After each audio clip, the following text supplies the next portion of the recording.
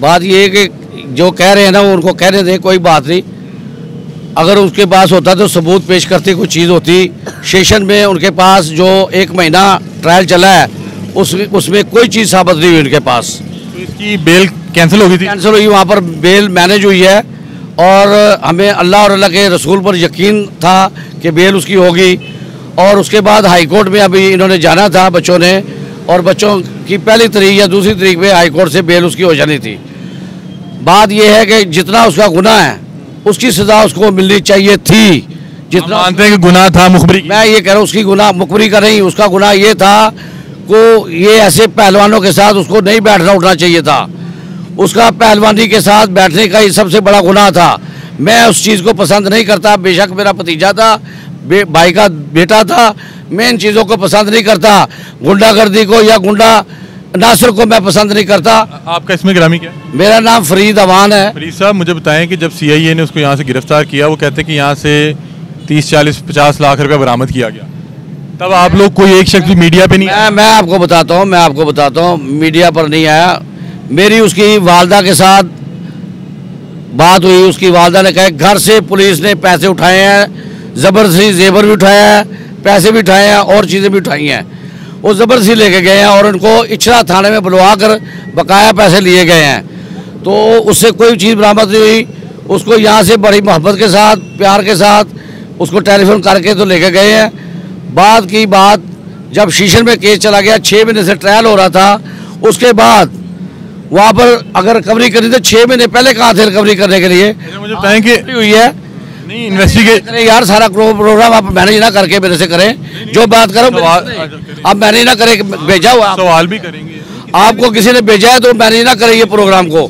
मैं आपको कह रहा हूँ अल्लाह और अल्लाह के रसूल के सद के बात कर रहा हूँ। जो जिसका जितना गुनाह था उतनी सजा होनी चाहिए। ये जो उसकी स- उसने गुनाह ये किया इनके साथ बैठा। उसने बलाज जैसे लोगों के साथ दोस्ती की जबकि उनकी चालीस पचास साल से दुश्मनी चाह रही थी उसको उधर नहीं बैठना चाहिए था। मगर इतनी बड़ा सजा जो उसको मिली है, ये नाहक मिली है। मैं ये कहता हूँ, उसको जो सजा मिल गई मिल गई। बाकी उसके घर वालों को क्यों सजा मिल रही है? उसके भाई के ऊपर उसका कत्ल डालने की कोशिश की जा रही है। उसका कत्ल उसके भाई पर डाल दिया गया है जबकि वो इंतहाई शरीफ आदमी है। ला मोहम्मद रसूलुल्लाह। मैं कलमा पढ़ के कहता हूँ यार जितने भी लोग खड़े हैं सब उसके लिए कुरान देना चाहते हैं। अली इस तरह का बंदा बिल्कुल नहीं है। अली बिल्कुल अच्छा आदमी है।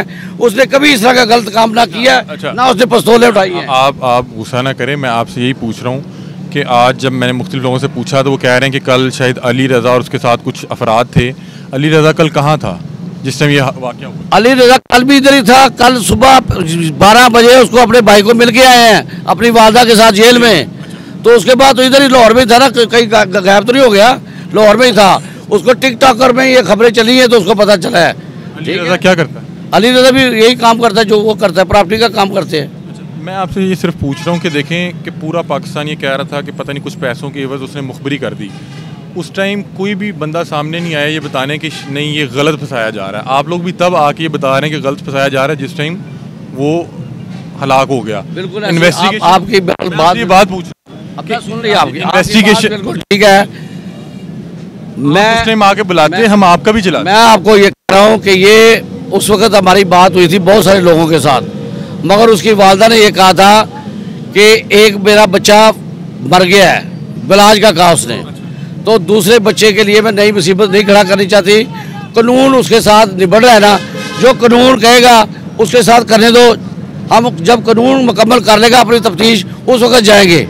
जब ये इन्वेस्टिगेशन टीम जो है बार बार ये कहती थी कि ये इतना बरामद कर लिया, उसने जो है, अपना जुर्म कबूल कर लिया, और उसकी सीडीआर निकल गई, चीज़ें निकल आई। तो ये क्या सी आई ये सिर्फ़ इसको फंसाने के लिए कर रही थी कि दो बड़ी जो फैमिलीज़ हैं, उनकी दुश्मनी थी तो उन्हें एक टारगेट मिल गया सॉफ्ट कि चले यार, कुछ प्रेशर कम करने के लिए इसको बीच में डाली मैं आपसे अर्ज़ कर रहा हूँ कि ये सारा कुछ ठीक है। ये बताएँ कि जब ये सारी बातें हमने डीएसपी या एसपी साहब को मेरी, इसकी, मेरी भाभी ने वहाँ पर जाके बताई हैं, सारा कुछ उनको बता दिया था। उसके बाद ये सारा मामला हमने अदालत में उठाया था। शीशन कोर्ट में उठाया था सारा कुछ। तो वहाँ पर बेल उसकी जब फाइनल हो गई थी और उसका फैसला उन्होंने रोक लिया उसके बाद हम समझते हैं कि चलो अदालतों जो करती हैं करती हैं हमें भी पता है आपको भी पता है जो अदालतें करती हैं। वहाँ पर मैनेज हो गया सारा सिलसिला मगर हाई कोर्ट के हमें यकीन था कि वहाँ पर उसकी पहली या दूसरी आपसे कह रहा हूँ जो इन्वेस्टिगेशन की रिपोर्ट्स आ रही थी जिसमें कह रहे थे जुर्म कबूल कर लिया। देख ली थी ना सारी रिपोर्टें जो क्या सब मैनेज थी? सब हर की- चीज़ मैनेज की गई थी जब हमने सीज़न कोर्ट में केस देखा पलंदा वो साबित नहीं कर रहा ये सारी चीज़ें। वहाँ पर सब झूठ का पलंदा था। तो जब उनको ये खतरा था कि हाईकोर्ट में इसकी जमानत हो नहीं तो ये सारा सिलसिला हुआ है। अच्छा बिलाज की फैमिली ने उसके बाद रबता किया उस हादसे के बाद कि ये फंसाया जा रहा है इसको या बिलाज की फैमिली में से किसी के साथ नहीं बिलाज की फैमिली से किसी ने रब्ता किया। मेरी भाभी उनके घर जाती रही कुलों तक जाती रही हैं। कुलों तक तो वो भी गया है। ऐसन भी जाता रहा कुलों में वो भी आ गया था सऊदी अरब से। बाद में फिर किसी का रबता नहीं हुआ। आपने कहा कि उनकी बादरेशन ज़्यादा ना बढ़ जाए इनको देख कर मगर इनका आज तक उनके खिलाफ कोई बयान ना दिया है ना देना चाहते थे क्योंकि वो भी जवान बच्चा था। ये पुलिस की नफरी लगी हुई है क्या ये अपनी जेर निगरानी तदफीन करवाएँगे? नहीं जी उन्होंने कहा कि हम हिफाजत के लिए आए हैं मेरी उनसे बात हुई है डिप्टी साहब से। उन्होंने कहा आप जनाजा कराएँ बेतड़क होकर कराएँ कोई ऐसी बात नहीं है हम इसके लिए हिफाजत के हैं। मैंने उनको कहा कि यहाँ पर कोई बादरेशन नहीं होगी। कोई जलसा जुलूस नहीं होगा कोई बादरेशन नहीं करेगा। जो बंदा दंगा फसाद की बात करेगा वो हमारे में से नहीं है। अच्छा कल हुआ क्या? कल हुआ क्या? मतलब कि कोई आपने अपने तौर पर पता लगवाने की कोशिश की कि यार? ये यही पता लगा है पुलिस ने जेल से निकाला है उसकी वालदा के सामने। वालदा उधर मिलने गई थी और एहसन ने उसको कहा कि माँ जी आप बाहर जाके प्रेस कॉन्फ्रेंस करें मुझे पुलिस लेने आई है और मुझे खतरा है कोई ना कोई मेरे साथ काम डालेंगे। और म- माँ उसकी बाहर आके पुलिस मतलब के- डरा हुआ था उसको पता था कि मेरे साथ ये कोई बिल्कुल डरा हुआ था खौफ में था। उसने कहा मार देंगे आज। आज मुझे साथ कुछ ना कुछ करना है ये लेने आए हैं पुलिस वाले। तो लेके आ गए उसके बाद नौ बजे साढ़े नौ बजे खबर आ गई है। और आप लोगों को टिकटॉक से पता लगा? टिकटॉक से पता लगा किसी ने बताया ये नहीं पता लग सका एग्जैक्टली शादबाग में हुआ नहीं नहीं ये नहीं पता किधर शादबाग हुआ है किसी जगह और हुआ है या जेल के बाहर ही कहीं हो गया है। ये हमें नहीं पता किधर हुआ है। इस जैसी खबर चली तो फिर अली उसके बाद आप लोगों ने कहीं रवाना किया? हमने क्यों रवाना करना है यार? वो नामजद होगा घर भी होगा नामजद उन्होंने नाम- कोई बात नहीं अल्लाह अल्लाह ने नामजद नहीं ना किया। अल्लाह नामजद करेगा तो हम मान लेंगे। अल्लाह ने नामजद नहीं उसको किया। इन ये कानून चलते रहते हैं। झूठे सच्चे पर्चे होते रहते हैं कोई बात नहीं। अल्लाह और अल्लाह की गारा हमारा यकीन है और उसके ऊपर हमारा ईमान है इंशाल्लाह हमें इंसाफ मिलेगा। कितने बहन भाई हैं? ऐसन की तीन बहनें हैं तीन भाई थे जबकि आज ऐसन चला गया दो भाई रह और एक को इसमें एक को शामिल कर लिया इन्होंने एक तो छोटा है बहुत। ठीक है। मगर घर में बड़ी परेशानी होगी और पिछले छह महीने आपके बहुत परेशानी में गुजरे परेशानी इतनी है कि सारे घर वाले परेशान हैं उसकी माँ बहुत ज़्यादा बीमार हो गई है इस वजह से। हर जुमे छह महीने हर जुमे से हर जुमे को मुलाकात करने जाती रही है। तो वो बेचारी सारी रात साथ रोती है रो के गुजारी है बहनों ने भी उसकी बीवी ने भी। और उसके घर वालों ने भी।